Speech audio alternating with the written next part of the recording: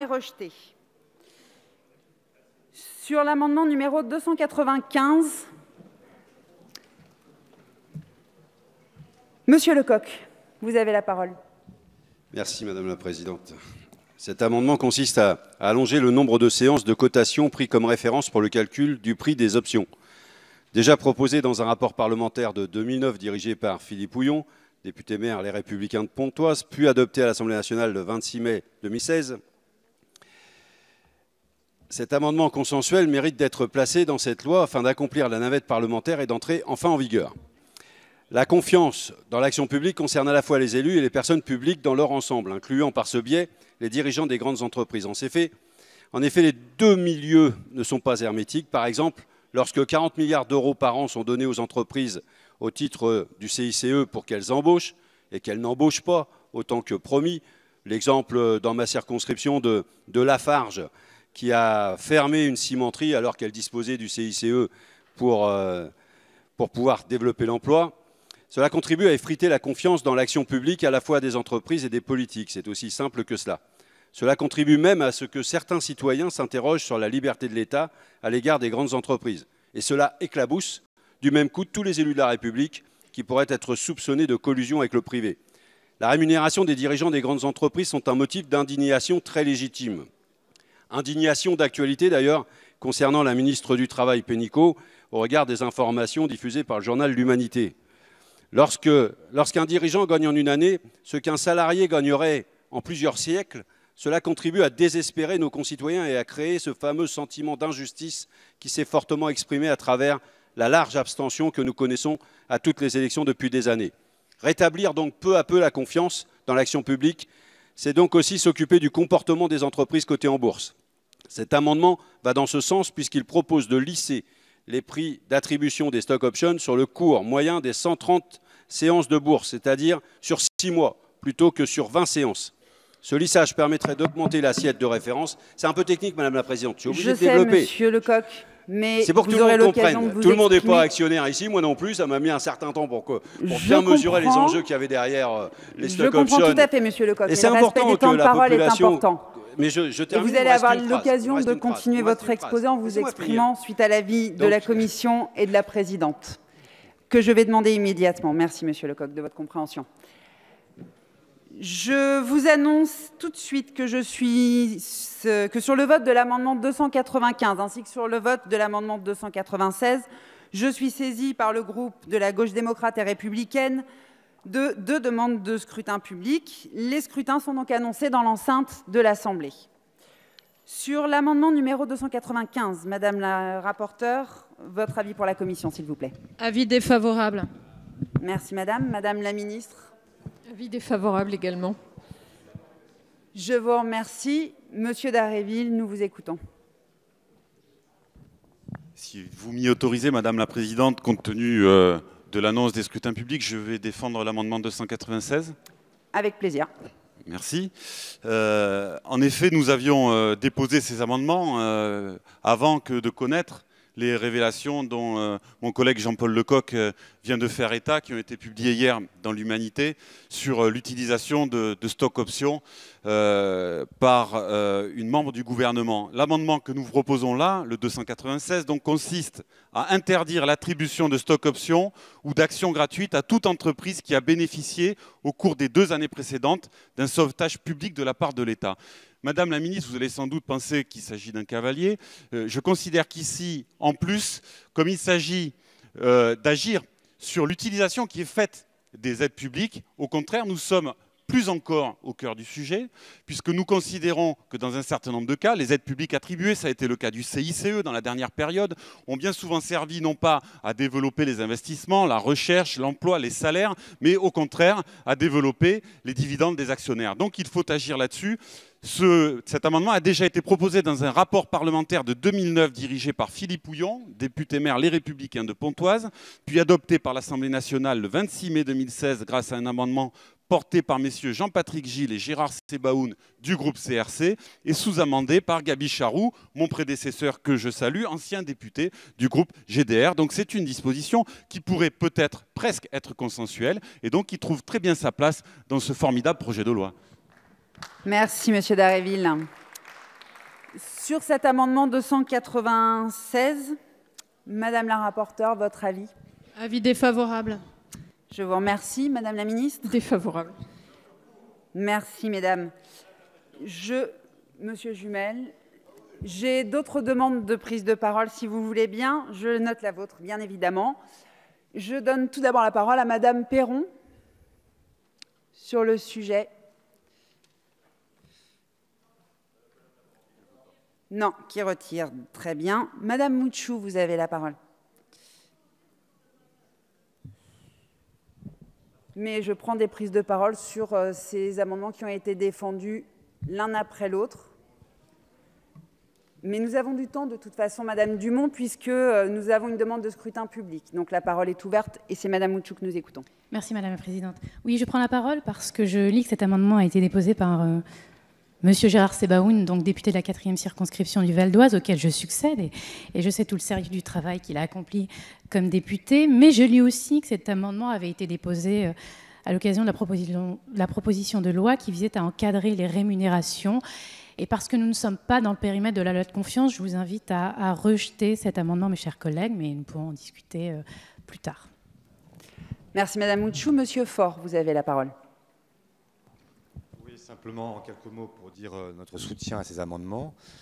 Effectivement, euh, ils sont issus d'une proposition de loi qui avait été adoptée en première lecture à l'Assemblée. Et euh, je sais bien qu'on nous dit récurremment que ce sera plus tard, mais plus tard, c'est souvent jamais. Et donc, l'occasion nous est donnée maintenant d'avancer. Et comme ça a été dit à l'instant excellemment, il y a un lien évident entre le texte que nous, abordons aujourd'hui et cette euh, question de moralisation, euh, y compris de l'usage des fonds publics quand euh, ils servent à renflouer les entreprises privées qui ensuite ne se comportent pas de la meilleure des façons. Voilà, donc pour toutes ces raisons, nous participerons et évidemment nous voterons ces amendements.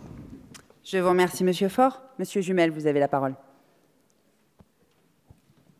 C'est assez déplaisant que sur des sujets aussi fondamentaux, nous n'obtenions comme réponse que les trois mêmes mots depuis euh, le début de nos discussions, avis défavorable de la Commission et même avis euh, du gouvernement, sans aucune précaution visant à assumer une argumentation. Parce que ce matin, nous avons, et c'était légitime, et j'ai d'ailleurs euh, contribué à cela, débattu de la manière dont les dotations de l'État en milieu rural pouvaient être plus justement euh, destinées à- aux territoires ruraux.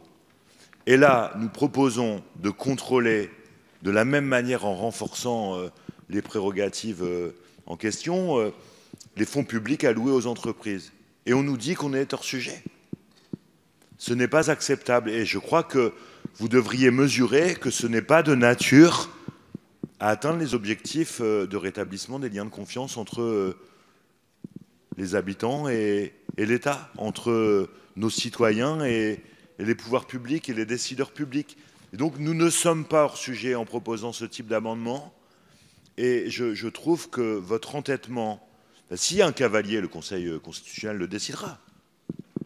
Eh bien, euh, app- approuvez, faites approuver ces amendements si vous en partagez et l'esprit et la lettre, et puis laissez euh, le juge constitutionnel euh, décider de, leur légalité. Merci, Monsieur Jumel. Monsieur Lachaud, vous avez la parole. Merci Madame la Présidente. Oui, pour euh, apporter également euh, le soutien de notre groupe à ces, euh, deux amendements. Depuis maintenant, ça fait déjà quatre jours qu'on est là, depuis quatre jours, on nous explique que pour le bien de la société, il faut que la société civile... J'attends toujours une définition précise, mais que la société civile s'intègre en politique. D'ailleurs, c'est euh, massivement le cas, euh, qu'il faut qu'il y ait euh, des passerelles entre le public et le privé de manière permanente pour améliorer encore le, fonctionnement de l'État. hein. Je me rappelle de notre collègue qui nous a expliqué ça. Bien, écoutez, à partir du moment où on parle de confiance dans la vie publique, eh bien, de fait, à partir du moment où il y a des allers-retours et que vous avez refusé tout amendement qui contrôle ces, euh, ces allers-retours, eh bien, de fait, euh, la question du, euh, privé est entrée dans cette loi et ce n'est pas nous qui l'y avons amené ou en tout cas qui avons légitimé sa, présence. Donc à partir de ce moment-là, et on le voit bien, hein, quand des dirigeants d'entreprise viennent, à occuper des, fonctions publiques, eh il est assez logique que la, vertu s'étende également à leur activité dans le privé. Je vous remercie, Monsieur Lachaud. Monsieur Marlex, vous avez la parole. Moi, à titre personnel, je, m'abstiendrai sur ces amendements parce que je ne suis pas euh, totalement convaincu par leur rédaction, mais je crois qu'ils ont un immense euh, mérite, c'est de, montrer que notamment l'affaire révélée par, euh, par l'humanité euh, dans son numéro d'hier le, révèle très clairement. Je crois que le, problème, le problème de la confiance dans, dans, la, dans, la, classe politique ne peut pas se limiter à ce qui est aujourd'hui l'objet de, votre texte, Madame le Ministre, qui est un texte beaucoup trop étroit. ce, que, ce que révèle l'humanité, c'est d'abord un drame du pantouflage, j'ai envie de dire. On a passé une journée à parler de pantouflage euh, le, membre du gouvernement mis en cause, le fait dans le cadre d'un pantouflage. Et puis évidemment, il y a, quelque chose dans l'affaire qui a révélé, l'humanité, quelque chose qui est tout à fait odieux, qui est le, pire visage du, capitalisme financier, qui est celui de tirer un bénéfice à travers des stock options d'un plan de licenciement. C'est évidemment le visage le plus odieux du, capitalisme financier auquel personne dans cette Assemblée ne peut adhérer. Donc en tout cas, je crois que c'est des sujets, c'est des sujets qui auraient dû figurer dans un texte et euh, tant qu'on n'abordera pas ces sujets de manière beaucoup plus complète, les, tous les efforts faits en matière de, rétablissement de la confiance seront insuffisants. Je vous remercie, Monsieur Marlex. Monsieur Latombe, vous avez la parole. Merci, Madame. Juste, ce sont des sujets sur lesquels on pourrait débattre. Mais nous, mais nous pensons que ce n'est pas dans cet, espace-temps-ci, c'est-à-dire qu'on pourrait en débattre dans cet hémicycle, mais pas maintenant. On n'est pas, sur le texte tel que, voilà, en, droit, très clairement, ce sont des vraies questions, mais aujourd'hui, ce sont des cavaliers. Je vais le dire à la place de la ministre, peut-être, mais en droit, ce sont des cavaliers. Mais par contre, il faut qu'on aborde ces sujets. Et il faudra qu'on les aborde dans d'autres textes. Voilà. Je vais donner la parole pour les deux derniers orateurs à M. Rudy et euh, à notre collègue des Républicains. Je fermerai là les débats puisque chaque groupe aura eu l'occasion de s'exprimer. Monsieur Redigos, nous vous écoutons. Oui, madame, la Présidente, Madame la Garde des Sceaux, Madame la Rapporteure, juste quelques mots pour rejoindre ce que vient de dire mon collègue Latombe. Bien évidemment nous sommes sur un cavalier législatif. Je m'étonne quand même de voir Monsieur Marlec citer l'humanité, c'est assez plaisant et assez amusant, et venir un peu au secours de nos collègues communistes. Mais je pense que Monsieur Marleix essaye euh, d'oublier, de faire oublier certaines affaires qui ont entaché euh, son parti il y a encore quelques mois de cela. Euh, monsieur Jumel, quand même, euh, excusez-nous d'interpeller comme ça la garde des Sceaux parce que vous estimez qu'elle ne répond pas à vos questions. Ça fait quatre jours que nous débattons. Je pense que nous avons bien évidemment établi que vos sujets, vos amendements n'avaient rien à voir avec la question que nous abordions avec ce projet de loi. Vous avez déjà eu, Monsieur Jumel, je vous ai beaucoup écouté lorsque nous avons eu le projet de loi d'habilitation sur les ordonnances. Vous avez largement pu vous exprimer. Vous avez eu une très belle tribune. Je crois que ce sujet-là n'a rien à voir sur le projet de loi actuel et vous faites durer les débats juste pour le plaisir et je trouve cela vraiment étonnant. Monsieur Redigos, merci. Nous allons écouter Monsieur Benoît qui sera le dernier orateur. Simplement, en tant que député UDI constructif, ça n'est jamais le lieu, ça n'est jamais le moment. Le sujet est grave et important et naturellement, je vais soutenir cet amendement. Et je pense que nous allons être nombreux dans notre groupe. Merci, Monsieur Benoît. Je vais donc commencer par mettre au vote. Monsieur Jumel, j'avais précisé que c'était le dernier orateur.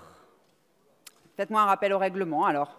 Nous vous écoutons pour ce rappel au règlement sur la base de l'article 58.1, pardon. Euh, notre collègue, parce que ça a trait au déroulement de la séance, a l'air de se plaindre euh, de la capacité des députés que nous sommes à défendre un point de vue, à déposer des amendements et à, occuper l'espace de discussion parlementaire comme nous le faisons. Alors, non content d'utiliser euh, euh, des ordonnances, non content d'avancer à pas cadencés sur des textes aussi importants que ceux que nous avons eu à connaître depuis le début de cette session parlementaire, on voudrait désormais demander aux députés de l'opposition de se taire. tant que nous en aurons l'énergie, nous continuerons à défendre et la voix de nos territoires, et la voix des salariés que nous représentons, et euh, les projets que nous avons développés dans les entreprises. Et ce n'est pas un député d'En Marche qui nous fera taire ni sur ce sujet-là, ni sur d'autres. Nous avons entendu votre point, Monsieur Jumel. Je vous propose donc de procéder au scrutin. Je mets aux voix tout d'abord l'amendement 295. Je vous prie de bien vouloir regagner vos places.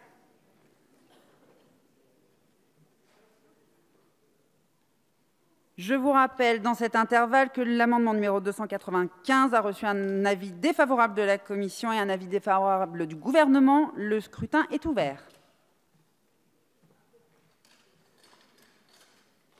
Le scrutin est clos. Voici le résultat du scrutin. Votant 153, exprimé 142, la majorité s'établit à 72, pour 37, contre 105. Cet amendement 295 est donc rejeté. Nous allons maintenant procéder à la suite au scrutin pour l'amendement 296 que je mets aux voix. Si tout le monde est resté à sa place, alors le scrutin est ouvert.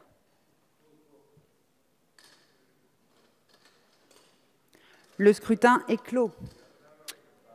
Voici le résultat du scrutin. Votant 150, exprimé 137, la majorité s'établit à 69, pour 35, contre 102. L'amendement